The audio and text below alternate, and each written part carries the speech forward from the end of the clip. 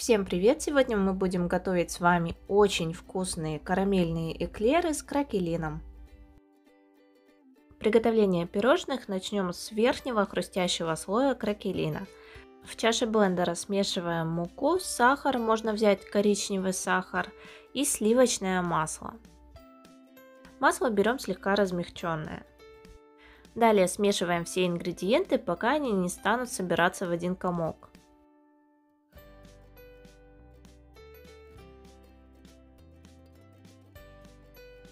Получившийся комок песочного теста раскатываем в пласт толщиной около 2 мм. Для того, чтобы тесто не прилипало к скалке, удобно делать это между двух слоев пергамента. Готовый пласт теста отправляем в морозильную камеру и переходим к приготовлению заварного теста. В сотейнике смешиваем воду, молоко, соль, сахар и сливочное масло. Сливочное масло у меня 82,5%. Сотейник ставим на небольшой огонь и не доводя до кипения, ждем пока масло полностью растворится. Затем выключаем огонь, всыпаем всю муку сразу и начинаем активно заваривать тесто.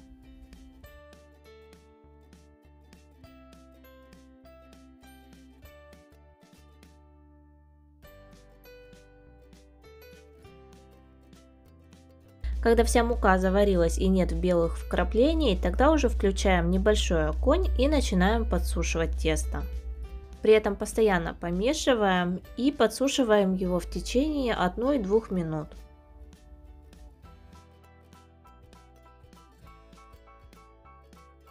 Если посуда металлическая, то на дне должен образоваться вот такой мучной налет.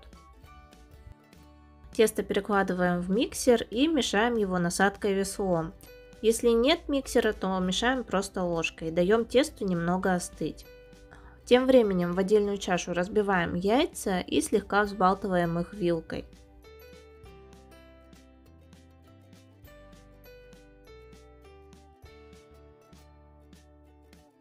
Теперь в несколько этапов добавляем яйца в тесто. После каждого раза ждем, чтобы яйца полностью вмешались.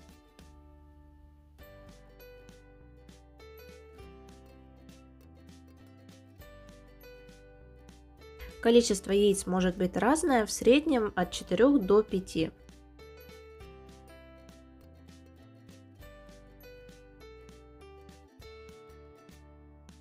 Периодически собираем тесто с дна и со стенок чаши.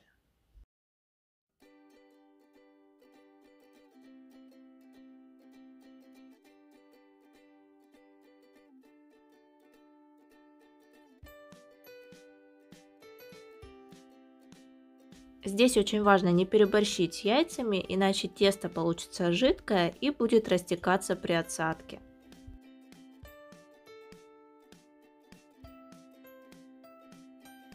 Когда оно уже становится вот такое гладкое, блестящее, можно уже домешать руками.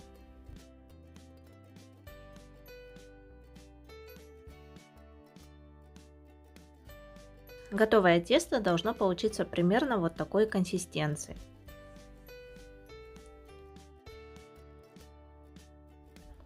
Оно должно медленно стекать с лопатки и образовывать вот такой полупрозрачный треугольник.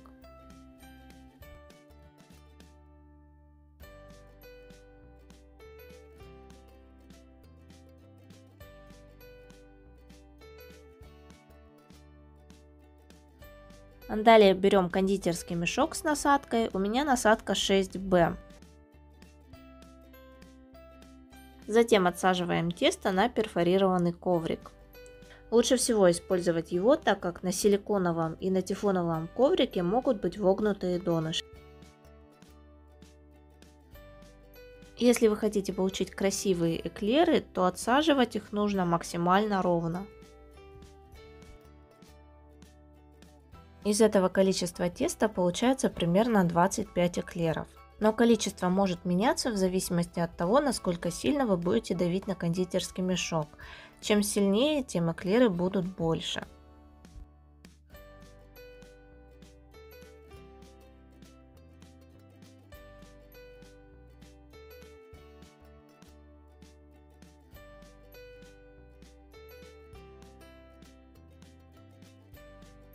Теперь достаем замороженное тесто, разрезаем его на прямоугольники по размеру эклеров и укладываем их сверху. Для заварных пирожных я использую вот такую схему выпечки. Сначала хорошо разогреваю духовку до 190 градусов, затем ставлю их в духовку и сразу снижаю до 170. При такой температуре выпекаю 20 минут, затем не открывая духовки снижаю до 160 и подсушиваю еще в течение 30 минут. Режим выпечки вверх-вниз. Пока будут выпекаться эклеры, приготовим заварной крем. Но, но так как крем будет карамельный, для начала приготовим карамель. Ставим сотейник с толстым дном на медленный огонь и начинаем топить сахар. Сахар насыпаем понемногу. Для того, чтобы помочь ему быстрее растопиться, можно наклонять сотейник из стороны в сторону. Когда весь сахар растворился, очень аккуратно вливаем горячие жирные сливки. Хорошо все смешиваем, кипятим еще 1-2 минуты и переливаем в другую посуду, чтобы карамель быстрее остыла.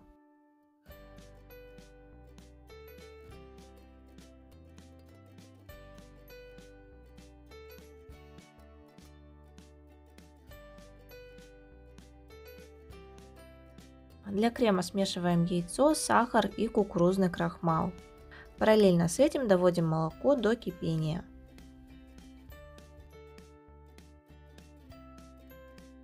Далее тонкой струйкой вливаем горячее молоко к яйцам. Затем переливаем массу обратно и при постоянном помешивании на слабом огне вариваем до появления первых пузырей.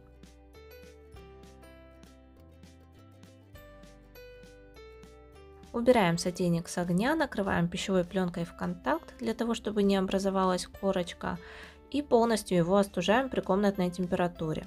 Для того, чтобы он быстрее остыл, можно поставить сотейник в чашу с холодной водой. Теперь остывший заварной крем смешиваем с остывшей карамелью.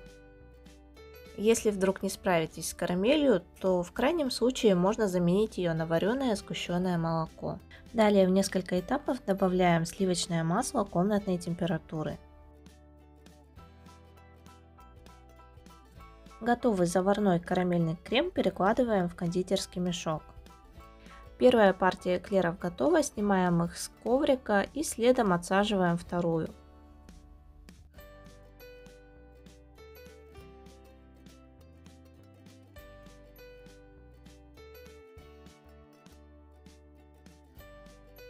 Пирожные, наполненные кремом, употребляем в день приготовления, а сами заготовки без крема можно приготовить за несколько дней до подачи и хранить их в пакете либо в герметичном контейнере.